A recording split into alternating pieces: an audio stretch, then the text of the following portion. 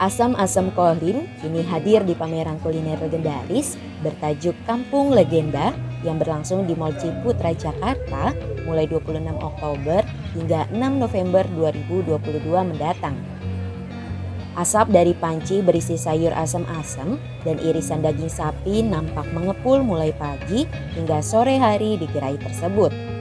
Aroma kuliner khas Semarang itu tercium di sekitar gerai sehingga mengundang orang-orang yang lewat untuk mampir sejenak. Dalam gerai tersebut tertulis tahun pertama rumah makan itu berdiri yakni pada tahun 1978.